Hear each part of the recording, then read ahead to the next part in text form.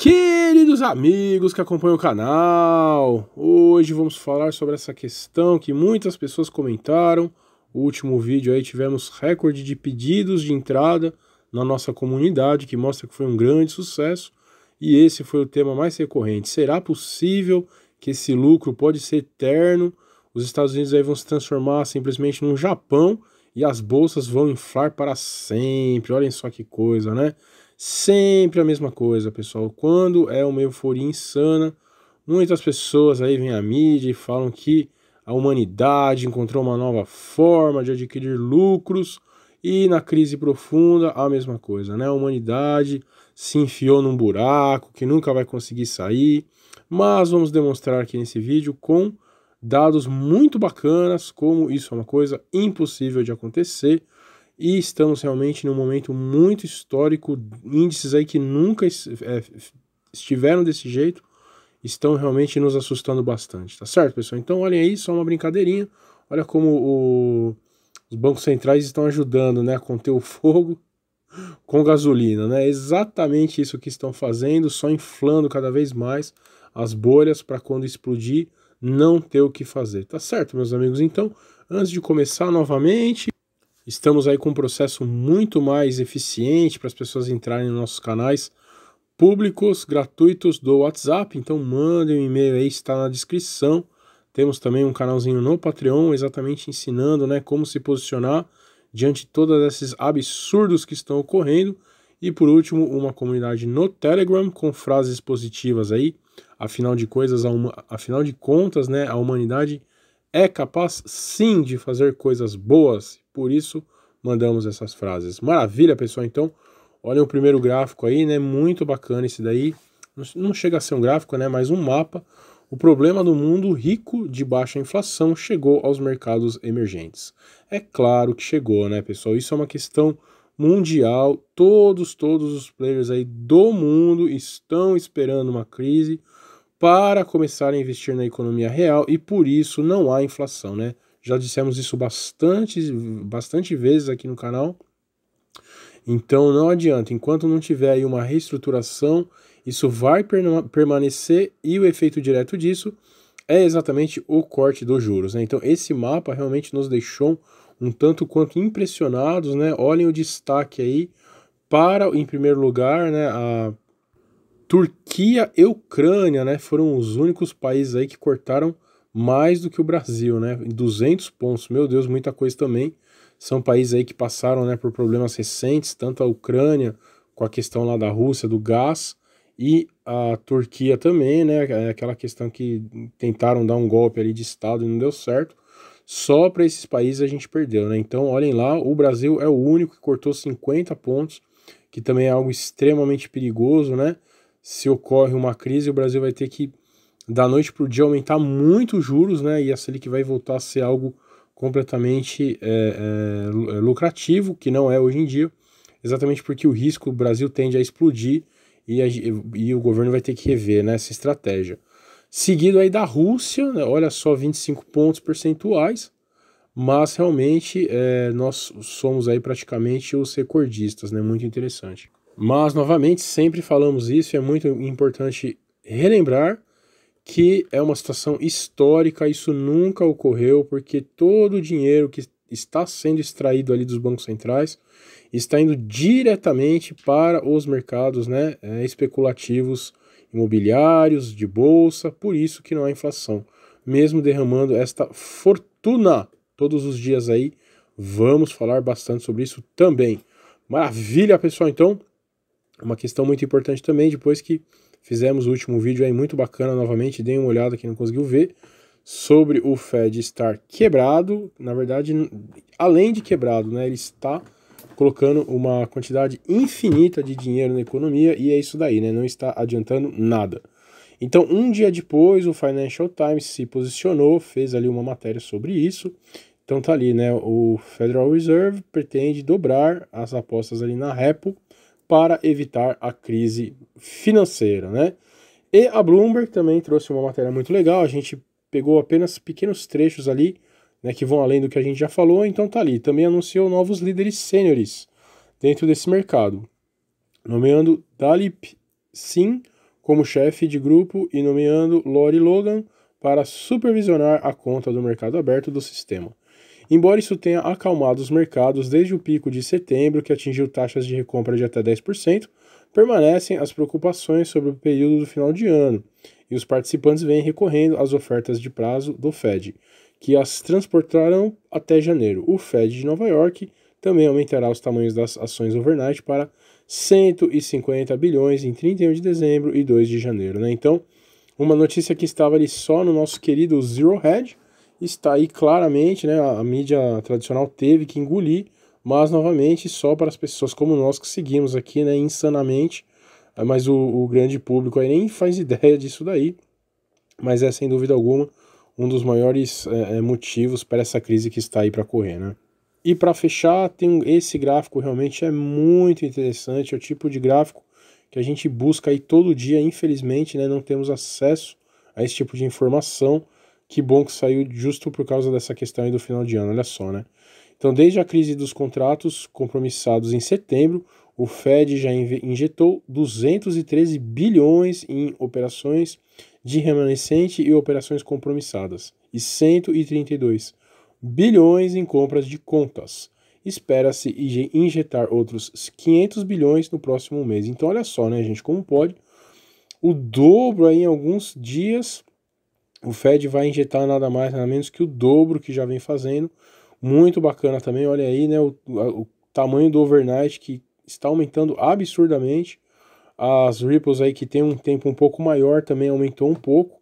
E a injeção de capital mesmo, né, livre de qualquer ripple, que é exatamente o not QE, né, que é o, o, o quantitative easing que o Fed também iniciou ali em meados de outubro. Maravilha, pessoal. Então, esse, esse gráfico, na verdade, é o que nos motiva aí, gente, a, por favor, novamente, as pessoas estarem bem posicionadas no final de ano. Ah, não, mas o lucro é eterno, vamos falar sobre isso com muita calma. Mas, né, as pessoas que nos seguem aí, por favor, vamos estar bem posicionados. Primeiro com a carteira anticrise e em segundo com as puts, que é aquele pequeno segurinho com vários riscos que já falamos. A bolsa pode fechar, a pessoa que tem ali a put pode não ter dinheiro para, né, pode quebrar e sumir com, com os compromissos, mas vamos fazer a nossa parte e nos posicionar. Uma outra informação muito importante também, sempre falamos aqui que o fundamento da crise, a questão mais importante aí mundial, são os créditos norte-americanos de automóveis, subprime, cartão de crédito estudantil, mas no último vídeo falamos que tem algo muito pior, que é exatamente a alavancagem com o dinheiro do quantitative easing, mas trouxemos aqui, né, só para a gente ter uma ideia, realmente isso está ocorrendo, né, e aí está dentro da própria Bloomberg, né, então dívida de cartão de crédito dos americanos aumenta para 10 anos de alta. Os americanos devem ficar seriamente para trás em suas contas de cartão de crédito, a taxa mais alta em uma década, à medida que os bancos pressionam pressionam um número recorde de pessoas a comprar plástico. A parcela de tomadores de cartão de crédito com atraso de pelo menos 90 dias em suas contas provavelmente aumentará para 2,01% no próximo ano, o nível mais alto desde 2010, de acordo com uma previsão da TransUnion. Então, gente, isso daí também é uma questão fundamental para quem acompanhou a crise de 2008, para quem já assistiu o filme, né, Big Short, vamos falar dele também nesse vídeo. Esse é o primeiro indicador para as pessoas aí que acompanham o mercado ali de crédito, foi exatamente o que o nosso herói é, Michael Burry fez. Vamos falar sobre ele também nesse vídeo. É, estava acompanhando ali para ver a inadimplência, que esse é o maior grito né, do mercado, que realmente algo não vai bem. Então, já falamos do crédito estudantil, que também é o maior aí na década, em muitos anos. Já falamos do subprime também, que está muito próximo ao que ocorreu em 2008. E agora tem aí né, a questão do cartão de crédito e dos automóveis também. Maravilha, pessoal. Então vamos sempre ficar de olho nisso. E agora vamos aí para a questão fundamental do nosso vídeo, que é o lucro eterno. Né? Então, antes de começar mais uma vez, a gente sempre, como nós nos lembramos aí de 2008, que realmente as pessoas falavam isso na época, várias inovações vão levar o homem a subir eternamente, nunca mais vai ter crise. E veio a crise de 2008 e destruiu completamente o sistema aí, né? Ocorreram várias, vários absurdos. Mas a questão fundamental que a gente traz é exatamente essa, né? Isso é bem típico de um momento de euforia como agora, assim como depois de uns dois anos de uma crise muito profunda, a mídia fala, né, que o, o ser humano perdeu a forma de gerar é, é, produtos, negócios, e aí é a mesma coisa, né? As ações e os imóveis a preço de banana, e está na hora ali de quem guardou comprar realmente. Então, vamos mostrar aqui alguns gráficos, né, para ver o tamanho dessa bolha que já está inflada e por que ela não pode continuar para sempre. Então, o nosso primeiro gráfico, né, muito parecido com alguns que nós já trouxemos aí, olhem a distância entre é, os lucros das empresas e os, o, o valor das ações, né, gente? Então, vamos lá mais uma vez fundamentalmente, quem não quer especular com ações, né, como os grandes investidores aí, Warren Buffett, o Barsi, né, esses aí que todo mundo ama, é exatamente essa questão. Você vai comprar então a empresa pensando no lucro dela. Se o valor né, que você está pagando está muito além do lucro que ela está dando, é óbvio que você está comprando um ativo muito mais caro do que né, o seu real valor. E esse gráfico é inacreditável. Em nenhum momento da história, né, olhem só, tivemos aí uma proporção tão diferente, a famosa boca do jacaré, e próximo a isso foi só lá em 2000, né, 2000, 2001, que foi exatamente a bolha do dot-com, as empresas aí da internet, mas estamos já muito além disso, né? Então vejam só, olhem esse outro gráfico, olhando aí um pouco mais de perto, o tamanho aí da, né, como já está muito além também de 2000 Olhem a, a linha azul um pouco mais claro, é exatamente o valor das ações, e o, o azul um pouco mais escuro são os lucros que essas ações estão dando aí, né? Então está muito realmente além. Uma outra informação, essa é sensacional mesmo, olhem só aí para isso. A mesma coisa no, no, no Banco Europeu, né, gente? No Banco Central Europeu, essa linha é, lilás é exatamente o balanço né, do Banco Central Europeu, o quanto ele está investindo. E olhem só, né, no momento ali que a DAX, que é a, a bolsa alemã, explodiu, uh, bom, já que está subindo muito, o Fed relaxou, parou né, de, de, de colocar muito dinheiro, e aí a bolsa alemã começou a cair muito, o, o, o Banco Central Europeu foi lá e colocou né, um dinheiro insano. Então, isso, olhem só, né, isso ocorreu duas vezes aí, circulamos aí com vermelho. Então, a primeira vez eles foram lá em 2017, injetaram uma fortuna, subiu.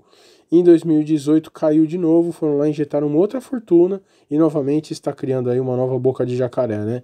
No momento que o valor das ações bater de novo no tanto de dinheiro que o Fed está colocando e o Fed parar, vai ocorrer o mesmo, só que isso é uma ascendente e uma hora vai ter que parar. Mas pode ser 2030, Morfeu. Para de falar bobagem. Vamos falar sobre isso, pessoal. Vamos com muita calma nessa hora. Então, uma outra informação aí também muito legal, nem só é, o total né, de, de a valorização das ações comparado com o PIB. Então, olhem só, né? O mercado agregado dos Estados Unidos fechou em 32 trilhões de dólares em valor de mercado pela primeira vez na história ou em aproximadamente 149% do valor de mercado PIB. O mais notável é que esse marco na avaliação foi alcançado em meio a um declínio no crescimento dos lucros e na desaceleração do crescimento econômico. Então, de novo, é o que a gente né, cansa de falar aqui, a única coisa que está subindo no mundo são né, os ativos aí especulativos. A produção real não sobe, a inflação não sobe, porque toda essa fortuna está sendo direcionada a esses mercados. Então, para fechar, gente, que é exatamente essa a questão fundamental do vídeo. Então, por que, que isso não pode continuar para sempre, né? Usam aí bastante o exemplo do Japão, que teve uma estagnação por muitos anos sem causar um crash, sempre os crashes vêm ali dos Estados Unidos. E a questão fundamental é essa, né, pessoal? É exatamente isso. Por que, que não corre nos outros lugares ocorre nos Estados Unidos? De novo, já falamos isso diversas vezes, mas sempre bom lembrar: os Estados Unidos são os grandes produtores de instrumentos financeiros do mundo, tá certo? Então, por que, que as bolhas, quando estouram nos Estados Unidos, acabam com o mundo, né? Então, por isso que trouxemos aí o nosso herói, Michael Burry, que passou ali no filme A Grande Aposta, né? Estamos assistindo esse filme praticamente toda semana porque às vezes é difícil você ver na mídia tudo explodindo, né, e, e continuar, não, tá tudo errado, vamos estar aí em putz. Então a gente sempre assiste esse filme sempre para relembrar o que ocorreu E foi exatamente isso que aconteceu na época, né, pessoal? Foi a alavancagem, foi a securitização, que são fenômenos aí, né, que pegam um problema de bolha, ou seja, um problema de um ativo que está muito caro, conforme já mostramos, e fazem com que ele se torne uma bomba atômica, porque a alavancagem faz exatamente isso, né? Ela pega o valor de um ativo e ele multiplica por muitos, exatamente porque ele trabalha aí com o mercado futuro. A questão técnica é um pouco mais complexa, mas é exatamente por isso, pessoal, que não dá, né? Não dá para ir muito mais tempo. As pessoas falam aí, né, de ah, não, vai chegar as eleições dos Estados Unidos. É realmente, pessoal, assim, não dá de novo, né? Não dá para afirmar data, não dá para afirmar é, o que vai acontecer com os bancos centrais, mas é muito difícil continuar dessa forma exatamente pela alavancagem. E o que ocorre, né, pessoal? Os shorts aí de novo, né? Isso ficou muito claro também no, no filme Big Short o, o, o Michael Burry mesmo, ele criou né, o instrumento ali contra os subprimes, e mesmo quando tava, gente, ele falava, pelo amor de Deus, né, o, o, as pessoas não estão pagando mais as suas casas, as pessoas estão desistindo, e vocês ainda não falam que tem a crise. O que vai ser necessário começar para vocês declararem a crise, né? E foi exatamente o que mostrou o filme. Enquanto os grandes bancos não tinham essas posições de short, a mídia ali, né, as empresas de classificação de risco, elas não deram a crise como iniciada. Então, no momento que o Michael Burry foi lá, criou um instrumento e muitos outros bancos começaram a replicar esse instrumento para que, na hora da crise, muitos investidores né, riquíssimos tivessem esse instrumento, não foi iniciada. Então, como a gente já falou ali, né, um, o maior exemplo que a gente tem é exatamente do Ray Dalio, que investiu 1,5 bilhões até março, abril, contra o mercado. É exatamente esse tipo de coisa, gente, que a gente tem que ter em mente. É, esse, esses grandes investidores é exatamente como uma dança das cadeiras, né? Quando a música começa a baixar, meu amigo, eles não estão nem aí para né, mundo, emprego, pobre, nada, né? Que se lasca, eles vão lá e sentam mesmo na cadeira. E isso já começou, esse movimento já começou. Então, o que os, esses grandes bancos esperam é exatamente eles próprios né, terem uma posição de put, uma posição de short contra o mercado, para aí sim declarar a, a, a, crise. Né? Então, não adianta, nós somos aqui né, minúsculos, não somos os únicos, obviamente, que estamos vendo todos esses absurdos. Então, no momento que esses grandes bancos, esses grandes investidores tiverem uma grande posição em put, eles vão disparar a crise. Muito diferente do que uma simples bolha, muito diferente do que ocorreu no Japão, Vamos tirar isso aí da nossa cabeça. Com certeza os Estados Unidos estão passando por uma japonização da sua economia. Pela questão da estagnação já é óbvio, né? Se você tem um juros tão baixo e não tem inflação, isso já é óbvio. Mas, de novo, né, gente? De novo, vamos ter isso em mente. É muito, tem que ficar claro. Não é isso que vai levar à explosão né, dos índices para baixo. É exatamente a alavancagem, ou seja, você tornar o seu mercado um verdadeiro cassino e, fundamentalmente, esses grandes investidores estarem shorteados para quando a crise explodir, eles saírem com muito dinheiro. Maravilha, então só para finalizar, de novo, olha só, né, conseguimos encontrar essa matéria inacreditável, o próprio Michael Burry falando já agora, né, que o mesmo está ocorrendo. Então olhem ali, né, os investimentos passivos estão inflando os preços das ações e dos títulos de maneira semelhante às obrigações de dívida garantida por hipoteca subprime há mais de 10 anos, disse Burry a Bloomberg News, hein? E novamente, né, exatamente os CDOs ali que a gente já falou em diversos vídeos. Como a maioria das bolhas, quanto mais tempo, pior será o acidente, disse Burry. O teatro está ficando cada vez mais lotado, mas a porta de saída é a mesma de sempre. Tudo isso piora à medida que você entra em mercados de ações e títulos ainda menos líquido em todo o mundo, afirmou ele. Isso é só um resumo o link está aí. Mas é isso, né, gente? Então, assim, quem melhor, né, do que o próprio Michael Burry aí, que a gente sempre fala, para dizer, né, para confirmar o que a gente sempre comenta aí. Então, a gente fica muito feliz quando encontra alguma coisa nesse sentido. Mas para quê, gente? Novamente, né, para os pouquíssimos aí, nosso canal ainda é muito pequeno, mesmo com WhatsApp, né, mesmo com o YouTube, para quem na, as pessoas que chegam a essa mensagem, pelo menos se proteger, não gastar, não ter empréstimo, fazer uma carteira anticrise, ter uns putzinhos nesse, nesse momento para tentar ficar um pouco mais sossegado. Maravilha, pessoal, muita informação aí para um domingo, né? Então esperamos aí que todos gostem. Mais uma vez, mandem e-mail para entrar na comunidade gratuita. É, quem puder, entre no Patreon para fazer uma carteira forte anticrise cliquem no link do Telegram, curtam nosso vídeo, nosso canal. Um grande abraço!